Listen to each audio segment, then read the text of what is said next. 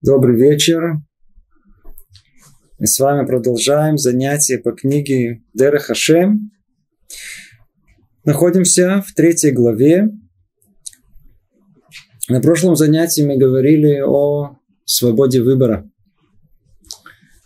В основной точке там внутри человека, вокруг которой все должно вертеться. Да, жизнь человека – Свобода выбора – это основа основ. В каком-то смысле это наша цель. Если мы не выбираем, для чего же нам эта жизнь? А если выбираем, и в той точке, где находится выбор, там находится и сам человек.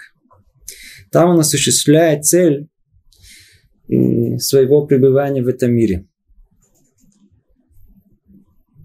Давайте снова вспомним, а почему так важна это свобода выбора. Прокрутим это в обратном порядке. Каждый раз будем это напоминать. Для чего нужна свобода выбора? Почему это такое центральное место в человеческой судьбе? Потому что если мы выбираем, и у нас есть эта свобода выбора, то мы тем самым уподобляемся самому Творцу. Потому что он единственный в этом мире, который полностью, абсолютно свободен и независим ни от кого, ни от чего. Так и человек, ему предоставлена такая же воля быть совершенно независимым. И когда человек осуществляет этот потенциал, который ему дали, он способен свободно выбирать, как сам Творец, тем самым он становится подобным им. Тогда следующий вопрос, а для чего нужно подобие Творцу? Ответ.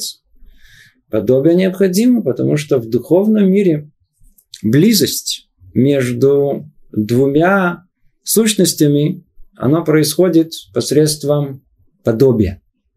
Чем более подобные два духовно, две духовные сущности, тем более они близки в духовном мире. И что нам даст тогда близость к Творцу? Чем будем мы ближе, тем больше мы сможем удостоиться его света, тем самым выполнить предназначение, цель всего творения, то, что Творец хотел воздать от добра своего э, тому, кто будет способен это принять. И заодно, как результат, будет и вознаграждение всему этому, то самое э, неограниченное наслаждение близостью с Творцом. Эту цепочку мы уже много раз проходили в ту и в другую сторону. Надеюсь, уже все ее более-менее помнят. Сегодня мы будем э, эту, сегодня эту цепочку мы продвинем еще на один шаг. Но давайте снова только напомним, э, мы не до конца завершили э, второй параграф тут. Снова обратимся к самому тексту. Для того, чтобы это дело устроить наилучшим образом, что за дело? Свобода выбора. Чтобы свобода выбора, она устроилась наилучшим образом, постановила высшая мудрость, чтобы человек был составлен из двух противоположностей. Если мы говорим о выборе, значит, должно из чего-то выбирать. Выбирает, как правило, с противоположности. Если это две одинаковые вещи, нет смысла выбирать. Отсутствует смысл. А именно, что за противоположности? Из разумной и чистой души, и земного, и мутного тела. Причем каждый из них по природе, причем каждый из них по природе склоняется в свою сторону. Тело склоняется к материальности, а душа к духовности. Это вещь очень-очень глубокая. Если мы будем э, взглядываться, вглядываться в то, что тут, э, в ту реальность, которая тут описана, насколько все это точно, сколько мы видим та самая реальность совершенства и недостатка, о которой мы много говорили в самом начале, она сотворена вокруг этого творения, вокруг человека. Но чтобы у человека была возможность тянуться то ли в ту, то ли в другую сторону, то в нем внутри точно так же есть эти реальности э, Э, совершенства недостатка. Что за реальность совершенства? Что будет тянуться к нему? Это разум. Разум. То есть разум человека и ясная, чистая душа, и исправленный положительные человеческие качества. В отличие от этого, то, что будет удалять его, это тело земное, и плюс э, мути там много, как мы сказали, в самой уже этой душе, плохие человеческие качества. Они отдаляют и тянут, наоборот, в другую сторону, подальше от реальности совершенства. Интересно, как все у нас устроено. Очень интересно все тянет к себе. Что-то хорошее изнутри тянет к хорошему, а плохое тянет к плохому. Встречается, я знаю, группа ребят. Обратите внимание, тут же два таких блатных тут, тут же находят друг друга. Моментально. А два таких чистых тут же как-то вычисляют тоже друг друга и где-то тоже, тоже находят друг друга. Все, все тянутся к тому, что у них есть внутри на, вся, на всех уровнях. Если внутри души нечисто, то автоматом будем липнуть к нечистому. Просто тянуть будет как магнитом. Все очень просто устроено. Что там у нас внутри? Что мы сами построили? Туда и тянуть будет. В душе чистота, будем стремиться к чистоте. Есть э, вещь обратная. Нечисто, будем к этому нечистому и стремиться. И Продолжает Рамхали говорить так. Таким образом, между телом и душой существует постоянное противоборство. О, видите, это э, картина идеальная, что между телом и душой э, существует постоянное противоборство. Это очень важно подчеркнуть. Когда Рамхаль это пишет, он имеет в виду теорию. Так оно сотворено. Мы все, о чем мы изучаем, мы тут же пропускаем через нашу жизнь и сразу надо, может быть, две, два замечания сделать. Первое э, о том, что э, э, Рамхаль говорит сейчас, и мы с этим сейчас столкнемся много-много раз, о реальности перед первородным грехом. Тема первородного греха – это будет тема следующего занятия. Мы еще не дошли до нее. Но очень-очень важно знать, что реальность, о которой мы говорим, это не наша реальность. Все, о чем говорит Рамхаль, это не о нашей реальности, которую мы с вами знакомы. Есть подобие. Снова подобное. Но не так. Но не так. У, у, э, это первое. Второе, о том, что даже если мы будем говорить о нашей реальности, то даже в нашей реальности противоборство постоянно между телом и душой, как мы говорили, не всегда осуществляется. Более того, что вам говорите, как правило, не осуществляется. Напомним, э, в прошлом занятии мы приводили точные определения Равдеслера по поводу свободы выбора, где она находится.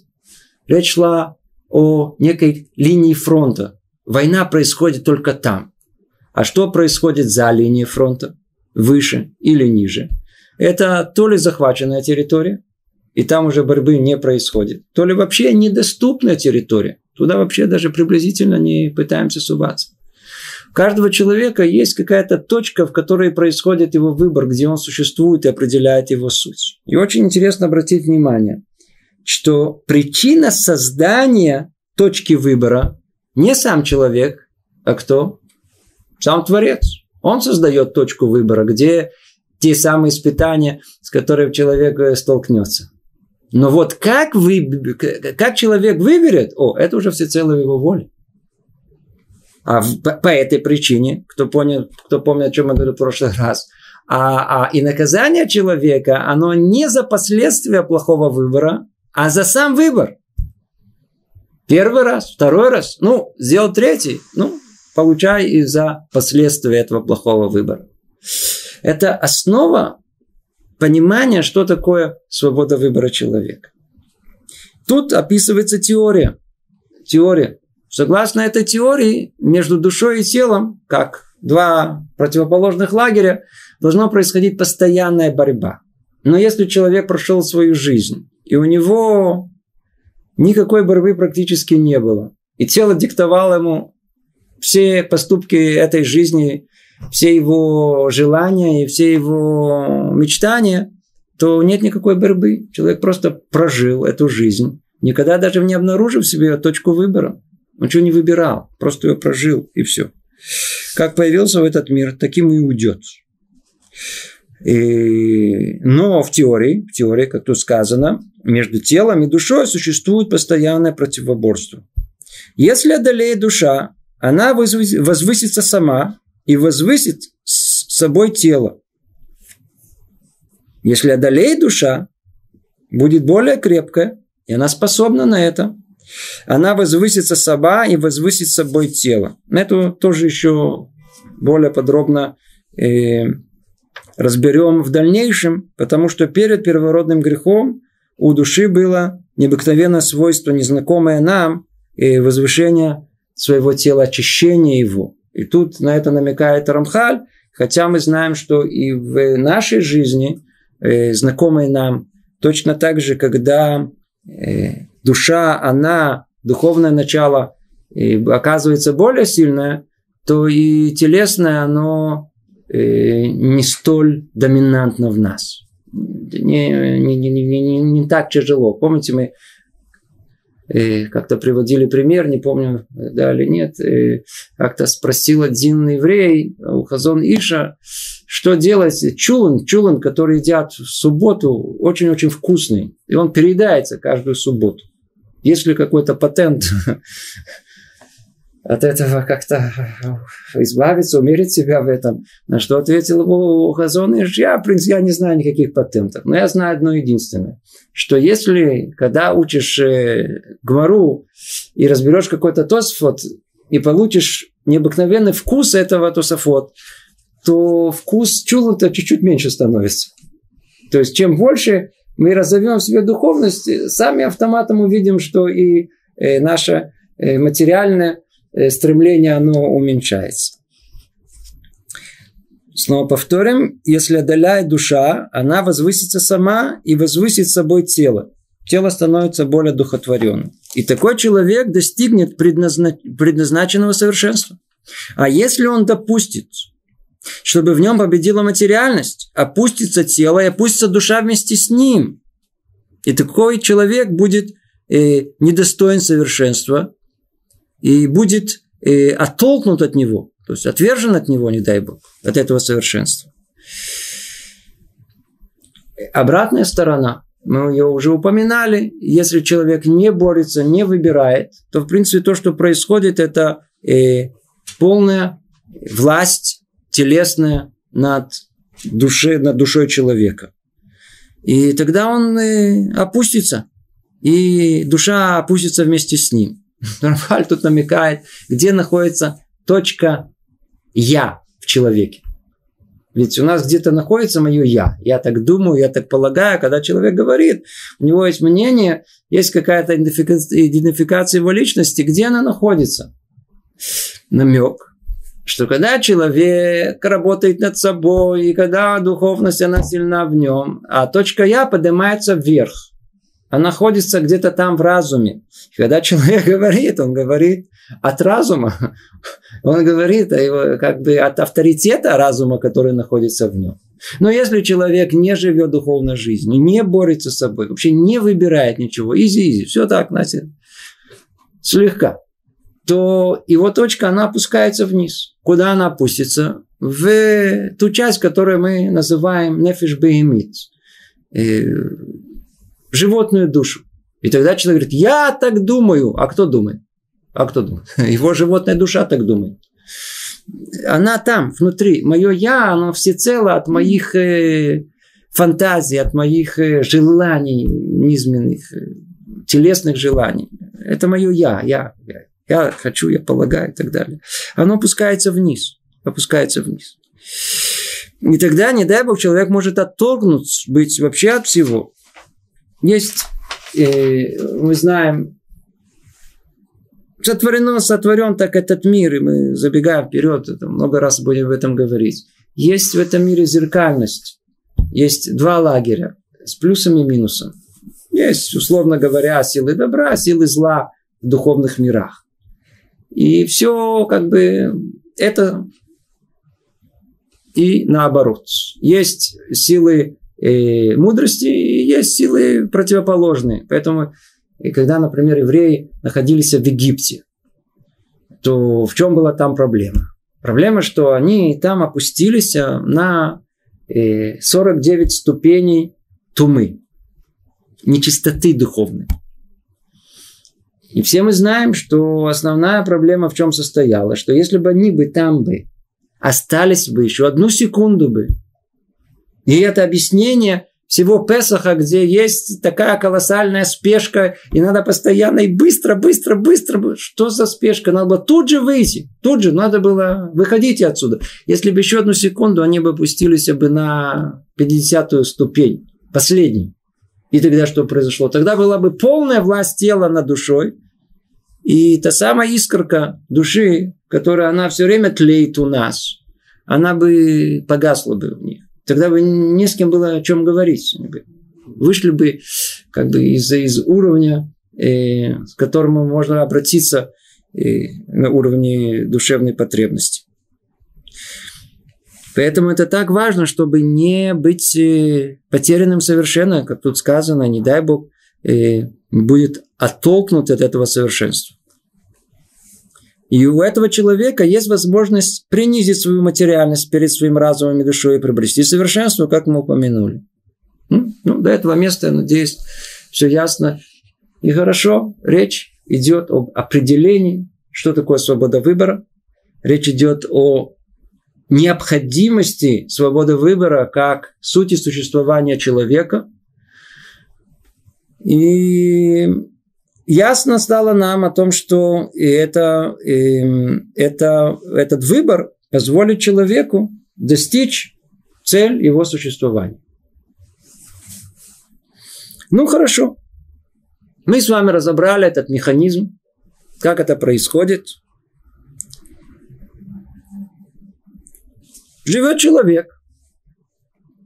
Живет человек. Хотя снова я должен предупредить, речь тут идет о реальности до первородного греха. Мы все время будем к этому возвращаться. И мы, мы, мы, мы, мы, к сожалению, много говорили, например, на прошлом занятии о свободе выбора, но это свобода выбора после этого первородного греха. Так и тут. Ну, так как у нас нет другого пути, чтобы приблизить к нашему пониманию, поэтому мы прибегаем к нашей жизни. Хотя речь идет еще до этого первородного греха. Механизм ясен, как мы сказали. Мы стараемся выбрать и человек живет, выбирает, выбирает. Очень хорошо. Ну, выбрал год, два, три. Сколько надо выбирать? Снова напомним, давайте э, глобально есть некое творение. Мы знаем, что его называют человек. И оно помещено между реальностью совершенства и недостатка. Он должен выбрать реальность э, совершенства и отстраниться от недостатка. И тогда он выполнит свою функцию в этом мире. Достигнет цель творения. Сколько? Сколько времени это должно продолжаться? Всю жизнь? Вечность? Отвечает на этот вопрос Рамхаль, это третий параграф, кто, у кого книга открыта. Всевышний по своей доброте постановил, чтобы был предел старанию, необходимому человеку для приобретения совершенства. Обратите внимание, а в своей доброте Творец постановил, чтобы был предел старанию, и необходимый человеку для приобретения совершенства. И когда тот совершит свой труд и достигнет своего уровня совершенства, будет покоиться в своем наслаждении и на веки веков. Это не точно. Нецах Нецахим – это э, вечность. Вечно. Поэтому были установлены для человека два периода. Первый – время труда, а второе – время получения награды. Если кто-то успел обратить внимание, мы сейчас с вами э, тут же окунулись в необходимость существования грядущего мира.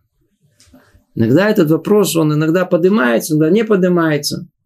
Мы с вами тут имеем уникальную возможность понять, логично, по порядку, откуда вообще появляются все, все реальности, которые есть в мире. Сейчас мы с вами разберем, почему есть необходимость существования грядущего мира, понятие это вообще у нас. Не может такого, чтобы это не было. Почему? Потому что это то, для чего человек существует в этом мире. Откуда исходит эта необходимость? Человек, он трудится, он выбирает, он работает. Ну, это что, самоцель? Вовсе нет, это средство. Для чего? Для того, чтобы в конечном итоге посредством своей работы и усилий он добился результата. Какого? Где будет этот результат? Надо на каком-то этапе пожать э, действительно результат своих усилий. Мы видим, что э, если э, эти простые рассуждения к чему приводят? К тому, что должно быть время труда, а должно быть время результатов этого труда. По этой причине разбивается вся жизнь человека на два этапа.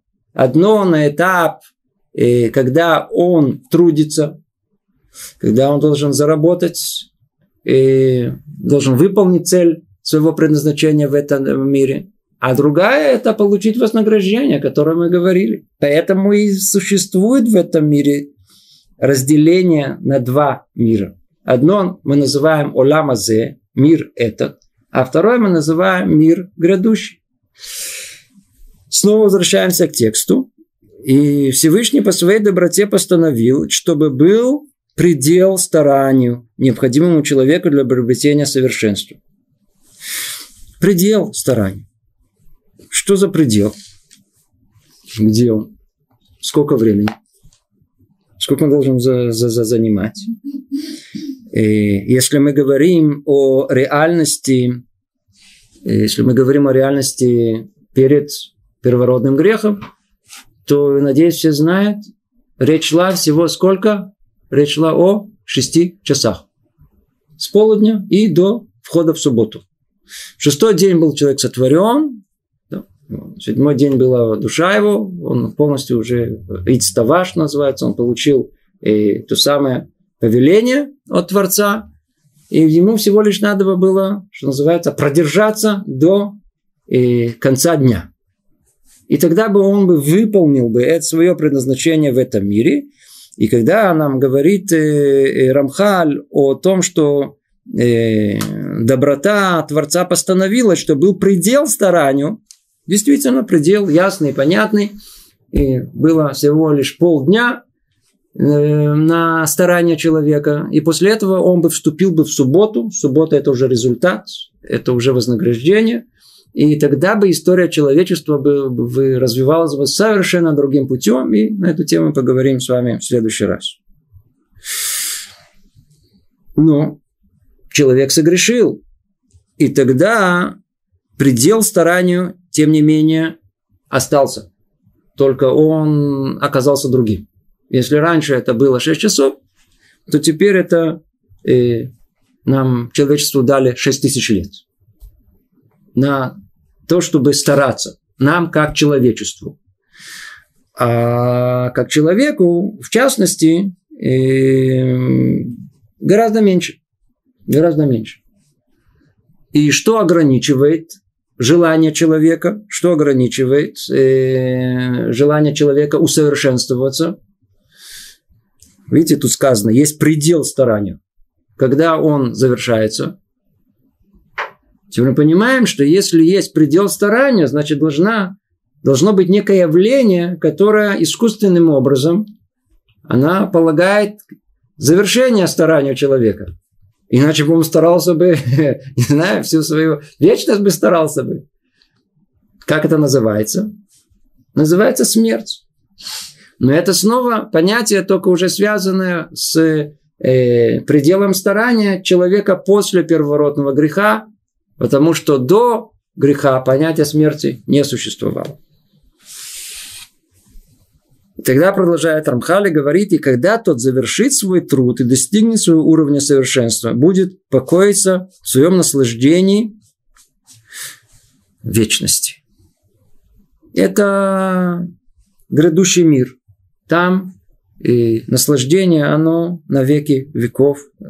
Снова, веки веков – это какое-то ограниченное время, а на, на, на, на, в полную вечность. Поэтому были установлены для человека два периода. Время, первое – это время труда, а второе – время получения награды. Продолжает Рамхаль, следующий абзац. Интересный. Но мера добра превосходит меру суда. Для работы есть установленное время, столько, сколько сочла высшая мудрость, подобающая для этого. Но получение награды бесконечно, и человек вечно продолжает наслаждаться приобретенным им совершенством. Первый взгляд, что добавляет нам это, э, этот абзац? Вроде бы в каком-то смысле есть повторение. Но если мы присмотримся, увидим, тут есть много, что проясняет нам. Первое, что бросается в глаза, когда мы говорим о том, что есть предел старанию человека, то получается, что Творец, он ограничил эту возможность человека добиться совершенства. Вроде дал ему, но с другой стороны ограничил. Чтобы мы так не подумали, говорит нам Рамхаль, но мера добра превосходит меру суда. Мы знаем, что мир был сотворен посредством меры милосердия. Хотел воздать Творец добра и тому, кто сможет это принять. Но мера добра вот этого, она превосходит меру суда, меру правосудия, меру строгости. И в чем это проявляется? Мы думали, что, может быть, э, есть предел, который ограничивает возможности совершенства. Знаешь же, что это не так, а мера добра превосходит. Почему? Потому что э, для работы есть установленное время. Столько, сколько сочла высшая мудрость, подобающим э, для этого образа. Что это значит?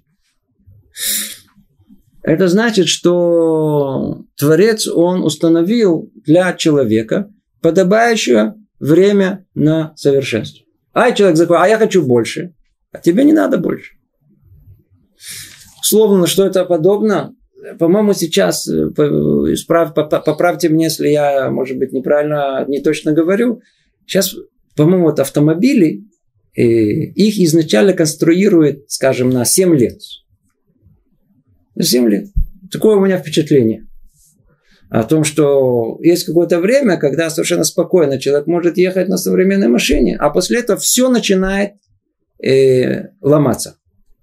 Или компьютер современный тоже, мне кажется, его тоже где-то на, на 3 года, на 4 изначально, изначально все, так сказать, он, он спланируется, иначе смысла нету. Зачем туда вкладывать, чтобы он там работал 20 лет? Почему? Потому что все продвинется гораздо э, дальше быстрее мы видим, что есть заранее запланированные э, сроки годности. Поэтому э, спросят, ну а почему нельзя было сделать больше? Можно было сделать больше, но не нужно. Нет смысла этого. В каком-то смысле есть в этом может быть и подобие. Творец в мудрости своей, он сотворил человека точно э, согласно тому времени, сколько ему необходимо, чтобы исправить себя. Сколько человек живет, 60, 70, 80 лет, это тот необходимое время, не меньше и не больше, согласно тому, как он сотворен, чтобы он мог себя исправить. Поэтому э, мера э, добра превосходит миру суда. Чтобы мы не подумали, что э, Творец ограничил человека возможности совершенства. Вовсе нет. А столько, сколько ему положено, точно, согласно этому он получил. Точно согласно этому за это время, время существования человека, человек точно получит, э, точно у него э, все, что нужно, он э, сможет добиться. Все, что может, все, что захочет, сможет добиться. И дальше продолжает Амхали говорить, но получение награды бесконечно. Бесконечно. Мы получаем вознаграждение за свой поступок, и он длится бесконечно. Я надеюсь, что эта вещь, она ясная и очевидная. Когда человек что-либо добивается и уже приобрел это, сколько занимает время приобретения? Какое-то ограниченное э, количество времени. Сколько времени занимает пожимание плодов этого усилия? Может длиться всю жизнь. Мы видим, что э, этот принцип, он, он, он, он универсальный, он работает везде. Получение награды, оно бесконечно. Теперь на это можно посмотреть в совершенно другой плоскости. И наш мир, он э, мир ограниченный. Мир, где есть понятие пространства и времени, которые неразрывно связаны друг с другом. Сама понятие природа, понятие материальности, она предполагает эту ограниченность в пространстве и времени. Этот мир этот. Мир там, где человек находится, и там он сам такой же ограниченный. Но мир вне его, мир, который породил этот ограниченный мир, он никак не ограничен, мир духовный. Там нет понятия не пространства, нет понятия времени. Там э, царит э, бесконечность. Поэтому это самая душа, которая она облачилась в материальную одежду и спустилась в этот мир. Она как пришла в этот мир, она тут проходит какой-то этап времени. Но когда приходит время уйти, вернуться назад, она снова возвращается в мир бесконечности.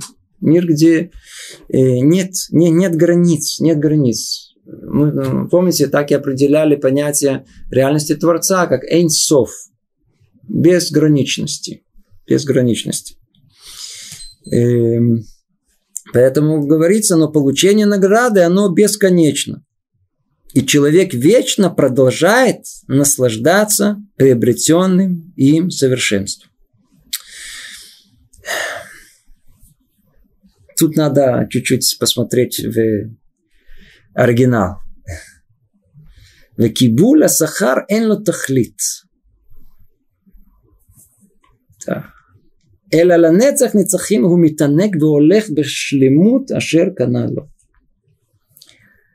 Можно было очень много на этом предложении остановиться, только, может быть, одно, может быть, два замечания. Тут сказано, «Эла ланецах нецахим гумит анег веголех». Что значит веолех? Что значит веолех? Но получение награды бесконечно. И тут, в принципе, да, перевели. Человек вечно продолжает наслаждаться. Значит, продолжает наслаждаться приобретенным совершенством. Почему не просто наслаждается? Мы же говорим о результате. Забегая вперед, скажем, вещи каждый из нас понимает. Мир этот, мир работы, мы так его называем. Тут наш мир. Это мир приобретения э, заслуг. Это мир динамичный. Тут все изменения могут произойти, тут все можно достичь. Все в наших руках. Мир грядущий, в отличие от этого, этот мир какой? Мир статичный. И мы прекрасно знаем, что ничего уже нельзя изменить. И самое большое наказание, которое ждет человека, это самый ужас, который может только э, э, представить, это чувство отчаяния, когда человек приходит в грядущий мир и хочет кусать себе локти, не знает, что верните меня назад. Оказалось, что дотичники правы, оказалось, что так оно и есть. Что все, все, весь мир в этот мире, это просто, это просто какой-то, не знаю, там, фотоморгана то вообще не, нереальная жизнь. Реальная жизнь, она не тут, она вечная. А тут сколько человек чуть пожил, побегал, побегал, родился, умер, все. Колоссальное сожаление о том, что он не достиг того, чтобы мог достичь. Все. Закончен. ничего не может исправить. Но мы понимаем, что грядущий мир, что человек успел в этом мире достичь, после того, как он прошел эту границу предела старания, называется смерть в нашем э, понимании, уже ничего нельзя изменить. Ни одной мецвы нельзя сделать. Ничего уже нельзя добавить к учебе. Мир статичный там, в грядущем мире. Ничего нельзя и поменять. А тут Рамхаль говорит, человек вечно продолжает наслаждаться. Что же продолжает? Метанек воли. Говорит Рав Деслер, он, он говорит так. Действительно, надо знать, что э, в грядущем мире уже нельзя ничего добавить. Никакой мецвы нельзя еще сделать там. Там не делается мецвод. Да? Там нельзя дополнительно ничего выучить, чего человек тут не выучил. Но что?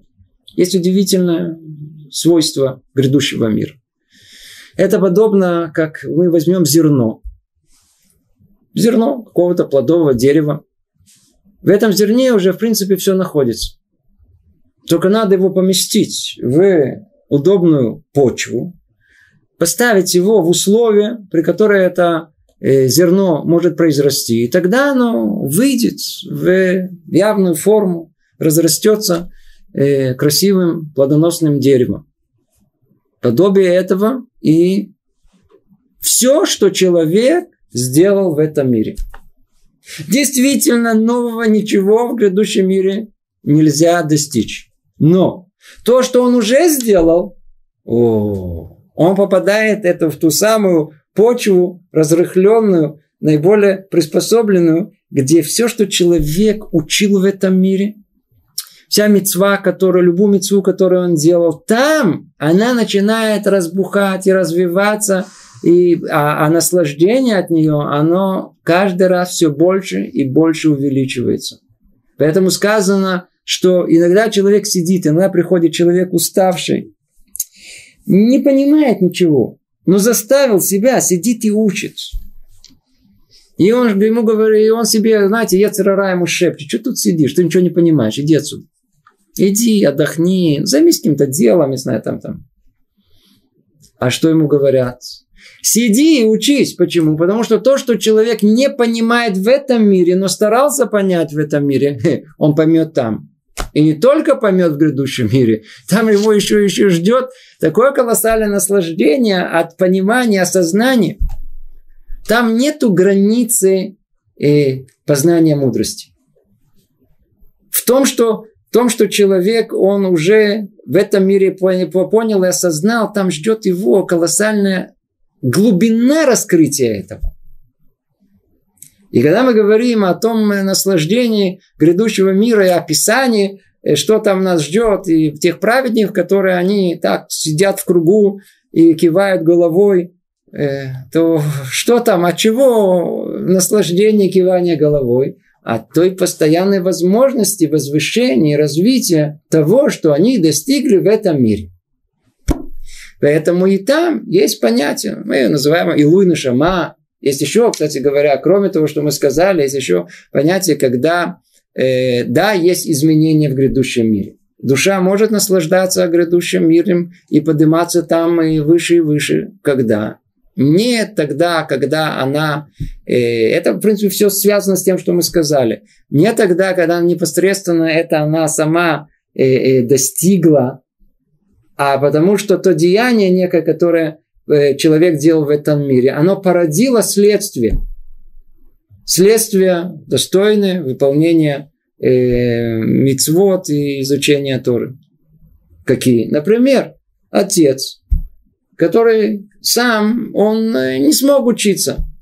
Но у него есть сын, для которого сын, отец сделал все, чтобы этот сын учился. То мы, и тогда, когда сын, он живет в этот мире, и благодаря этому отцу идет по пути праведному, пути прямому, учится и делает э, угодное Творцу, то заслуга от этого, оно идет и к э, отцу тоже.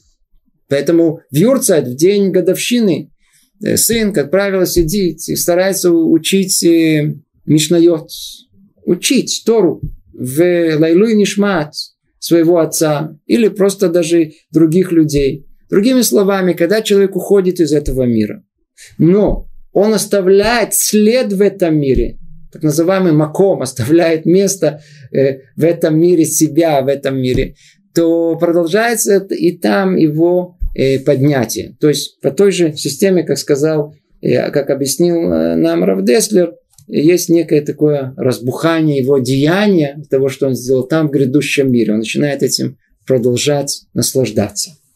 Это объяснение слова «митанек веолех», то есть продолжает наслаждаться приобретенным им совершенством. Ну, и нужно ли говорить, э, чтобы только... Нужно ли говорить, что, что за э, наслаждение, чем э, наслаждение ждет человека в грядущем мире. Надеюсь, тоже каждый понимает, мы об этом уже много-много раз говорили. А э, вознаграждение, о котором речь идет, оно не как в нашем мире соотношение между вознаграждением отца по отношению к своему сыну. Сын, учись, папа тебе купит велосипед. И действительно сын учится. И тогда, когда он действительно выучился, и папа ему подарил велосипед, он по своему детскому уму, недоразумению полагает, что вознаграждение за учебу это был велосипед. В то время как папа прекрасно знает о том, что велосипед это только был э, тамриц. Э, Повод. Повод. Это был только стимул. стимул. Это только был стимул. А вознаграждение, что есть? Самоучеб. То, что человек э, сам приобрел.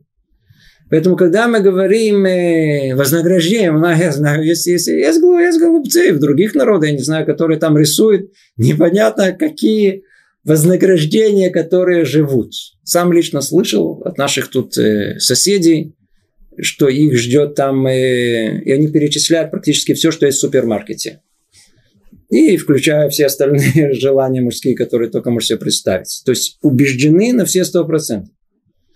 Можно ли к этому даже, можно ли об этом даже говорить? Это просто, ну просто, ну просто нужно руки развести и молчать, по-видимому. Лучше не надо комментировать. В грядущем мире человека ждет только то, что он произвел в этом мире хорошего. Только там, где был выбор, там, где он выбрал доброе и устранился от зла, то самое доброе дело, которое он совершил, ту самую учебу, которую он учил, мецву, которую он выполнил. Только это то, что ждет человека в грядущем мире. Как сказано у нас, схара мецва мецва. Оплата за исполнение э, доброго дела, само доброе дело. Вознаграждение э, человеку, который, который, который э, старается и выполняет что-либо, учится, предположим, учится, учится. Это знание. Само знание, это есть то вознаграждение, которое он э, получил.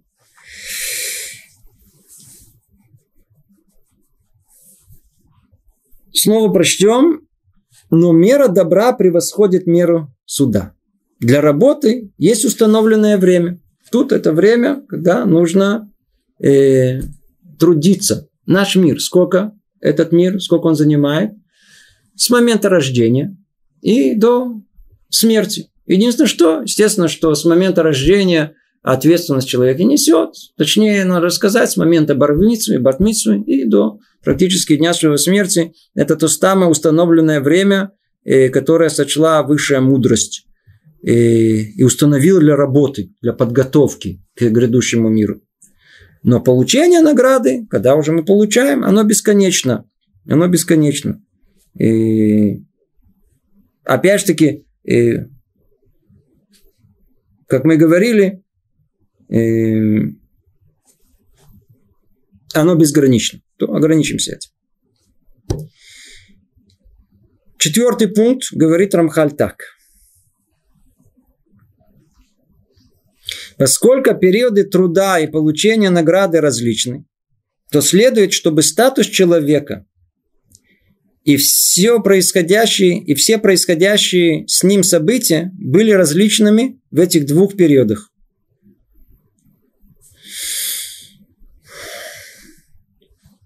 Надо по порядку идти.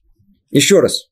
Поскольку периоды труда и получения награды, как мы говорили, различны, совершенно два разных этапа жизни, полных, совершенно разных, то следует, чтобы статус человека и все происходящее с ним, и все происходящие с ним события были различными в этих двух э, периодах. Э, вещи совершенно очевидны. В период, когда человек, он находится в этом мире, мире э, труда, на нему полагается испытание, ему полагается скрытие присутствия Творца, ему полагается вообще все условия совершенно-совершенно другие. В отличие от грядущего мира, у которого должны быть соответствующие обстоятельства существования там, которые принципиально отличаются. Там уже не надо испытаний, там уже не надо скрытия, а наоборот раскрытия и так далее, как, как мы сейчас увидим. Ибо все время труда необходимо. Да, сейчас он будет говорить сначала о труде. Что будет, что он скажет о труде. То есть это время существования в этом мире. Ибо все время труда необходимо, чтобы человек был в таком качестве, когда могло существовать все необходимое ему и для этого труда. Все, что необходимо. Да. Объяснение. Необходимо, чтобы в нем происходило противоборство между разумом и материей. Между разумом и материей. И чтобы не было бы ничего такого, что мешало бы материи властвовать и делать то, что ей подобает. И ничего такого, чтобы мешало бы разуму властвовать и поступать по собственному усмотрению. Нам что важно? Полный паритет, чтобы было равновесие между силами, которые тянут к Творцу и от Него. Не должно быть ничего, что повлекло бы чрезмерное усиление материи, и ничего, что повлекло бы чрезмерное усиление разума. Должно быть ровно наполовину. 50-50. Подчеркну снова, эта речь идет о реальности нам абсолютно незнакомой, реальности до первого греха человека. Тогда должна была быть выбор абсолютно э, паритетный. Половина на половину. Ибо хотя, с одной стороны, кажется лучше, чтобы разум был сильнее материи, естественно, давайте дадим человеку, все нормально, только давайте по блату чуть-чуть, там, чуть сильнее разум. Э, нет. Но в свете истинной цели человека, чтобы он удостоился быть свободным, сам выбирал в честном противоборстве с двух сторон. И того, что Бог желает от него, приобрести своим старанием совершенством, это нехорошо. Нехорошо, чтобы у нас э, разум был сильнее материи. Поэтому э, в этом мире все будет определяться, все, все, все, все, весь мир, вот такой, какой он, э, который мы видим, он определяется чем? Чтобы была возможность противоборства между двумя этими силами.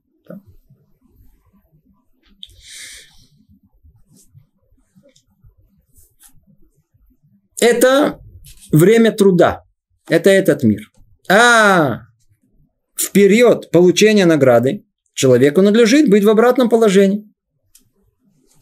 Ведь любая власть материи в то время будет только затменять душу. И препятствовать ей прилепиться к Создателю. Поэтому следует, чтобы, когда властвовала только лишь душа, а материя полностью влекла за нею, совершенно ей не препятствует. Снова повторю, поэтому следует, чтобы тогда властвовала только лишь душа, а материя полностью, полностью влеклась за нею, совершенно ей не препятствие. То есть, что мы видим? В мире этом между телесными желаниями и духовными желаниями должна быть полное равенство, должно быть полный выбор между двумя этими силами, а в период получения награды уже никакой надобности в этом нету. И естественно, что все, что связано с э, этим миром и сотворением вокруг него, в грядущем мире всему этому не надо. Почему? Там мы получаем вознаграждение. Там э, все должно быть, в, э, как тут сказано, надлежит быть в обратном положении. Ведь любая власть материи, если мы, мы оставим ее в грядущем мире, и она только будет затменять душу и препятствовать ею прилепиться к Создателю. Поэтому следует, чтобы когда властвовала только лишь душа, поэтому следует, чтобы тогда властвовала лишь только душа. А материя полностью влекла за ней совершенно ее не препятствие. На данный момент тело, материальность начала человека, она препятствует приближению к Творцу. Она уравновешивает, да, делает баланс. В грядущем же мире э, это будет не так. Это не будет э, тело, материя, оно будут полностью э, идти за душой, и совершенно ей препятствовать там не будет. Совершенно. А что там вообще будет делать материя? Что там будет делать материя? Хороший вопрос. Сейчас мы постепенно разберем их. И мы прошли, что сказал нам Рабхат. Есть описание, почему наш мир выглядит таким, как он выглядит.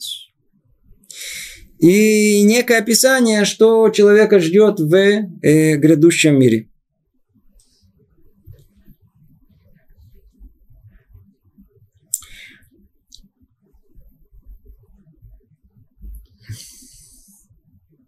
Сейчас опишем это. Я только хочу вернуться еще к одной точке, очень важной.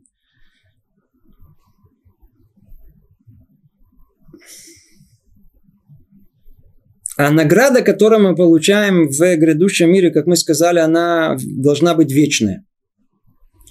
Но причина этому труд в этом мире. Сколько? В усилии каком? Ограниченном. Есть тут интересная кушия, я ее пропустил, извиняюсь.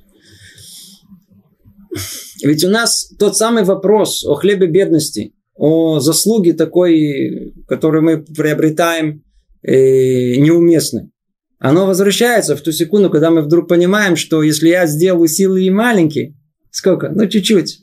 И какое получил вознаграждение? Вечность. Возвращается тот же вопрос. Может быть, это не пропорционально, не уравновешенно. Снова человек удостоился это получить, это как бы не... Тоже будет стесняться этого подарка. А ответ, может быть, мы уже даже намекали, это подобно чему? И тут намекает нам Рамхаль в этом, что на самом деле усилия в этом мире, они подобны тому, как человек трудится, чтобы, предположим, купить дом. Сколько ему надо трудиться? Он работает. Работает сильно, год, два, три, пять, десять лет. Купил себе дом. После этого нужно трудиться, чтобы купить дом? Не нужно купить. Точно так же и тут. Он может в этом, в, в этом доме теперь он может жить, не знаю, сколько угодно времени. Если будет жить тысячу лет, будет жить в этом доме, предположим, тысячу лет. Но усилие какое сделал? Очень маленькое. Как только он этого достался, после этого он же может уже этим наслаждаться. Так и тут. Вопрос этот не возникает по той причине, что достаточно тех усилий, которые он сделал в этом мире, ограниченных, чтобы после этого уже пользоваться результатами этого труда вечно. Ну, давайте вернемся. Есть тут описание э, необходимых условий существования этого мира, что все было в балансе и в паритете, 50 на 50, духовность и материальность. И, кстати, из, из того, что есть это требование, исходит вся наша реальность. Вся наша реальность, мы даже еще не входим в эту тему, мы еще в нее войдем, мы увидим, как из этого исходит вся наша реальность. Это необходимость существования реальности в той форме, в которой она есть. А в грядущем мире э, там всех этих условий не надо, там наоборот, там э, власть материи, она только будет э, препятствовать э, душе приблизиться к Творцу. Поэтому она в грядущем мире изначально все так устроено, что она не должна э, мешать. В этом вопросе есть у нас э, интересный спор мудрецов. Надеюсь, и вы знаете это. Вообще, что такое грядущий мир, как он определяется и что там происходит. Мнение одного из величайших наших мудрецов, Рамбама, Раби Моше Бейн э, Маймона, о том, что я сейчас говорю не о реальности перед первородным грехом, а о реальности нашей знакомой нам. После смерти человека, говорит нам Рамбам, наступает грядущий мир. Это согласно мнению Рамбама. В какой форме он существует? Говорит он, это мир душ. Тело, бренное, материальное уходит из этого мира, исчезает, а душа вечная, она действительно остается навечно. Сама. Но это мнение Рамбам. Мнение и мудреца, который оспаривает его. И надо знать, что для нас он является основополагающим практически во всем. Мнение Раби Маше бен Нахмана, Рамбана, оно другое. И мнение Рамхаля, оно полностью совпадает с этим я надеюсь, кто чуть-чуть внутри знает о том, что Рамбам не получил внутреннюю часть Торы. В отличие от этого, вся внутренняя часть Торы, она прошла через Рамбанна. И, естественно, э, ее получил и Рамхаль. Поэтому описание грядущего мира для нас, их понимание, оно основополагающее. Описывают они там, и это порядок. После смерти человека душа его, душа без тела, она не приходит в мир, который называется грядущий. Она покоится в ожидании грядущего мира в месте, которое мы условно называем Ган-Эден. Мир душ. Standby. В ожидании. Что там? Там есть подобие того, что ждет ее в грядущем мире. Это наслаждение души и своими поступками, которые он совершил в этом мире. Развитие, как мы говорили. Чего они ждут, эти души? Они ждут тогда, когда они ждут окончания человеческой истории. На исправление первородного греха выделено 6 тысяч лет и не больше. После этого произойдет, и мы сейчас поймем весь этот порядок, мы сейчас забегаем вперед, но дальше это более подробно будем говорить, произойдет э, воскрешение из мертвых, и тогда воскресшие тела с душами усопших они предстанут перед великим судом Творца, где будет установлено, кто удостоится на этот раз уже грядущего мира, такого, какой он есть. И те, которые удостоятся, после завершения шести тысяч лет, мир, он исчезнет в том понимании, в котором он есть сейчас. И мир войдет в субботу. Есть мнение, что это еще не есть грядущий мир. Грядущий мир это только начиная с восьмого тысячелетия. И в отличие от мнения Рамбама, мнения Рамхали и Рамбана, что тело, то самое бренное тело, которое встало на э, Тхиатам и Тим, оно останется у человека. Человек будет существовать не как душа сама по себе, а как душа, связанная с телом. У нее останется тот самый клей, сосуд, в котором он э, содержится. И в такой форме они получат и вознаграждение. Естественно, вопрос, который встает, а для чего нужно вообще в грядущем то самое тело, которое оно, и, оно препятствовало достижению цели? Отвечает на это Рамхаль в других книгах о том, что тело, оно трудилось, оно страдало, и ей полагается вознаграждение. Естественно, что надо понять, что такое тело. Как мы сказали, тело само по себе, это молекула, это не тело, а имеется в виду то самое животная душа, которая единственная, которая она существует в реальной форме. И понятие, что такое материя, это отдельная тема. Мы даже до нее не доходим и не касаемся ею, что на самом деле имеется тут в виду. Но просто надо знать, условно мы это называем телом. И грядущий мир, это начиная с восьмого тысячелетия, когда человечество войдет в это, оно будет существовать в форме и нам совершенно незнакомой, даже приблизительно, но где будет и душа, и где будет тело. И как тут говорится, тело не будет оказывать никакого препятствия, никакого препятствия и души продвигаться дальше в своем развитии. И только завершим. Сказано и еще та в конце, как бы подводится итог. И поэтому были сотворены два мира. Ну, об этом мы уже говорили, забегая вперед много раз. Поэтому были сотворены два мира. Этот мир, Олама Зе, и грядущий мир, Олама Ба. Место и природные законы этого мира таковы, как подобает человеку все время труда, а место и законы грядущего мира таковы, как подобает ему во время получения награды. Как мы сказали, все сотворено в полном соответствии с целью, для чего это предназначено. Если наш мир, этот, этот мир, где мы находимся, этот мир, где должна быть дана возможность свободы выбора, значит, в этом мире все, все, все, все. Это разгадка, это ключ к пониманию всего, что есть. Оно должно быть именно в такой форме, чтобы позволило человеку свободу выбора.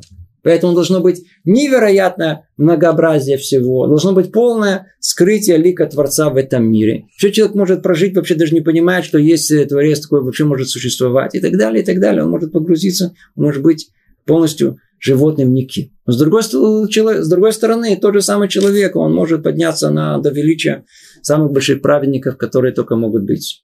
Выбор остается то ли в эту, то ли в эту сторону. И поэтому все в мире сотворено, включая все природные законы этого мира. Природа, которая она имеет необыкновенную повторяемость. Именно эта повторяемость всех природных законов, физических законов этого мира, она, они, они, они и скрывают присутствие Творца этого мира. Даже, даже тот хаос, который вокруг нас для многих кажется необъяснимым, на самом деле э, уже э, э, все больше и больше понимают, что э, только если чуть-чуть смотреться в него, то э, гораздо более сложные уравнения, они описывают даже и хаотичность, которая кажется совершенно э, бессмысленной. Все имеет какой-то смысл, и что-то за этим э, э, э, прячется. Но все эти природные условия, они сотворены только для одной единственной цели – позволить человеку э, находиться в условиях полной свободы выбора. А вот в отличие от этого, законы грядущего мира, они какие? Как подобает ему во время получения награды. Все материальное, оно не должно препятствовать, не должны создаваться никакие условия для свободы выбора, поэтому нет нужды во всем этом, нет никакой нужды ни, ни, ни, ни в этой видимости материи, ни во времени, а человек будет находиться в полной духовности и пребывать в вечном наслаждении. Всего доброго. До следующего занятия. Привет из Иерусалима.